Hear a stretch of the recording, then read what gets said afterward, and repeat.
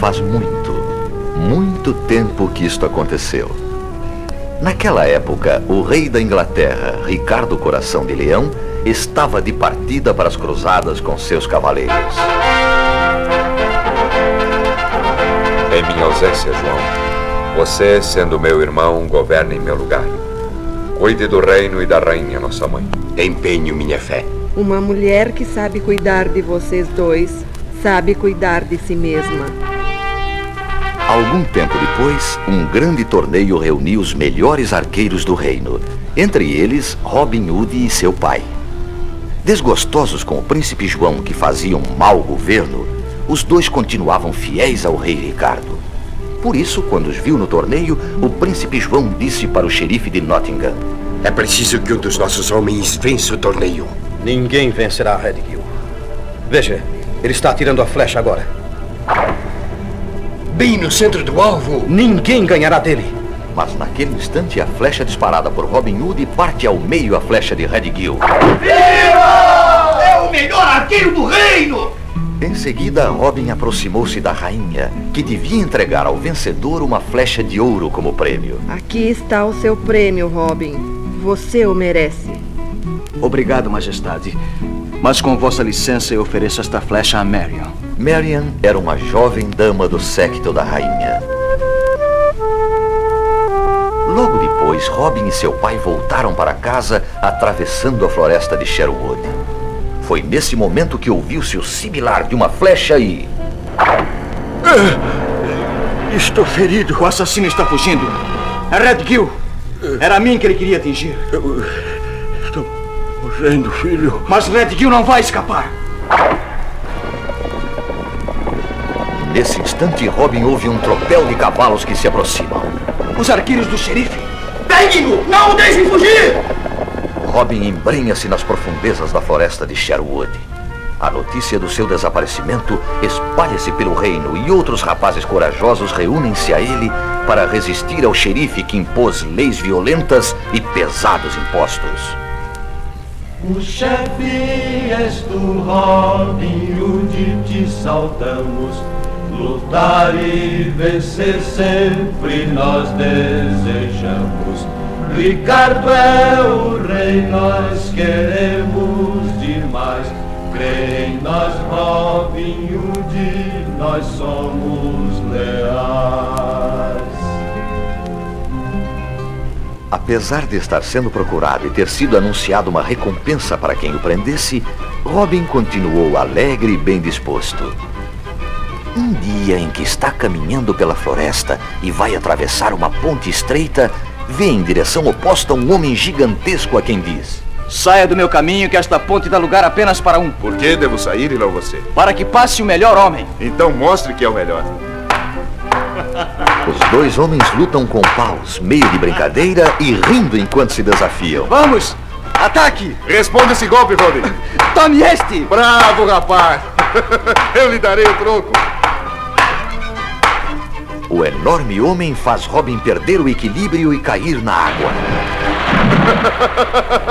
Eu não lhe disse que daria o troco. Só assim você tomou banho. Seu golpe não foi dos piores. Como é o seu nome? João Pequeno. Eu o chamarei Joãozinho. Quer juntar-se a nós? E assim Robin levou um banho e ganhou um novo e valioso homem para o seu bando. Dias depois, Robin foi buscar o robusto Frei Tuck para cuidar das almas e dos ferimentos do seu pessoal. Mas Robin gostava mesmo de brincadeiras. E quando chegaram junto ao rio que deviam atravessar, Robin encostou a espada nas costas do Frei Tuck e disse: Prefiro passar sem me molhar. Portanto, carregue-me em seus ombros. Está bem. A escritura diz que devemos carregar os fardos. Mas quando chegaram do outro lado do rio, foi a vez de Frei Tuck encostar a espada nas costas de Robin e dizer: Agora é sua vez, Robin, de me carregar de volta.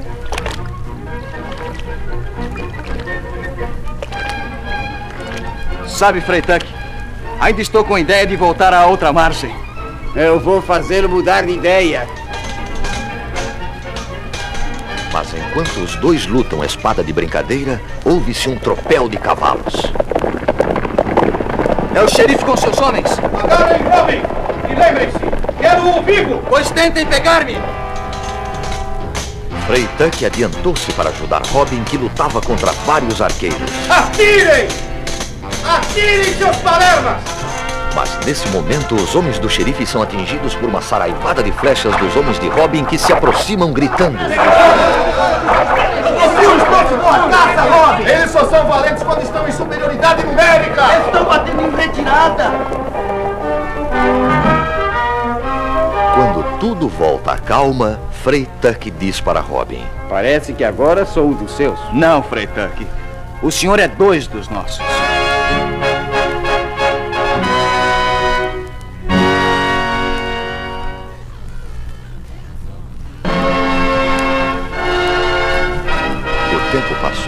Os abusos continuaram. Em vez do rei Ricardo voltar, chegou a notícia de que fora feito prisioneiro e que era exigido um grande resgate pela sua liberdade. Para obter a quantia necessária, todos contribuíram.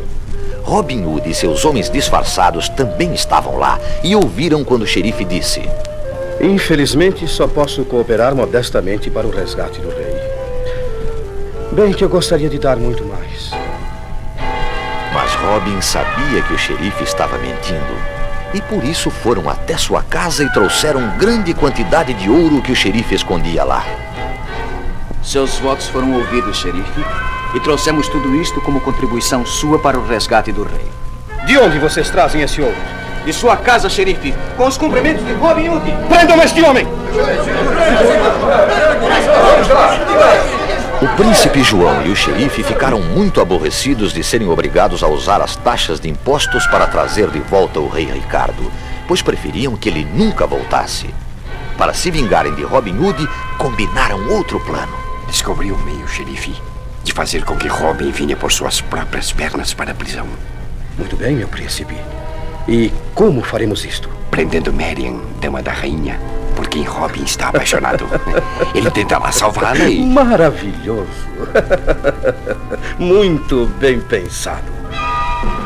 O príncipe João mandou prender Marian e tratou de que a notícia chegasse a Robin Hood. Em seguida, o xerife ficou à espera de Robin.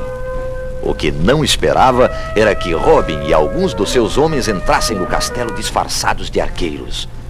Quando o xerife se deu conta, estava com a espada de Robin em suas costas. Leve-me até a prisão onde está Marion. Eu ainda o apanho, seu traidor. Nenhuma palavra, senão enfio-lhe a espada. Mande o carcereiro abrir a porta da cela. Soltem a moça. Marion. Robin, eu sabia que você viria. Vamos sair depressa daqui. Guardas, quieto! A minha espada ainda está aqui junto a você. Juro por minha honra de cavaleiro que.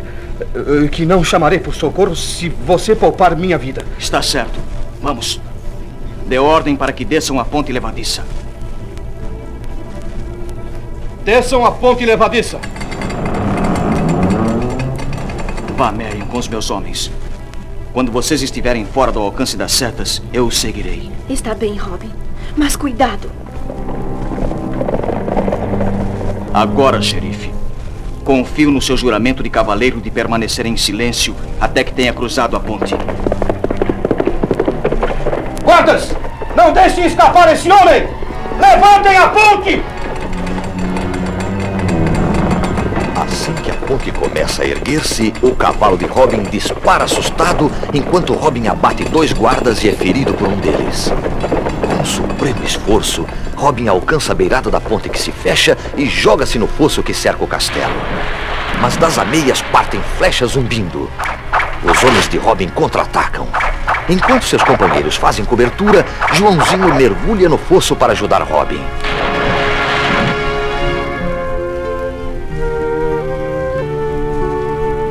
Robin Hood está ferido, em sua tenda está. Mas bem logo há de tornar a ser lutador e audaz. Robin Hood e sua gente já vão recomeçar. lutaremos sem descanso até nosso rei voltar. Uma semana depois, Robin sente-se melhor dos ferimentos e não quer mais ser tratado como um doente por Marian e Frey Tuck. Robin, tome este caldo. Tome-o você. Eu vou me levantar. Robin, você não deve fazer isto. Estou cansado de ser tratado como doente por você e esse frade paspalhão. Beba isto, vamos. Ponha-lhe pela garganta abaixo. Mas Robin sai da tenda e, em meio a seus homens, defronta-se com um cavaleiro encapuzado que indaga. Qual de vocês é Robin Hood? Eu. Que procura aqui? Vim livrar a floresta de Sherwood dos fora da lei. Descubra o rosto se não quer ser descoberto à força. Quando o cavaleiro desconhecido mostra o rosto, Robin mal pode dizer. Meu nobre rei Ricardo, perdoe minhas palavras. Perdoarei a ti e teus bravos arqueiros mais do que pensas. A Inglaterra tem uma profunda dívida para contigo. Ajoelha-te, Robin Hood. Ergue-te, Robin, Duque de Locksley. Neste momento, Marian sai da tenda e, reconhecendo o rei Ricardo, indaga. Meu soberano. Tem notícias de meu pai. Ele voltou comigo e está ali esperando no castelo onde deverás desposar o Duque de Locksley. Desposar? O Duque de. Meu nobre rei, eu não posso escolher. Não. Robin, você não tem nada a dizer sobre quem devo desposar? Quem sou eu para contrariar as ordens do meu soberano? Muito bem, meu Duque de Locksley. Meu Duque de Locksley? Então, é você, Robin? Nunca obedeci com tanta satisfação às ordens do rei. O chefe és tu, Robin Hood, te saudamos. Ó Duque de Locksley, contigo estamos. Robin vai casar, é a ordem do rei. E nós não seremos mais fora da lei.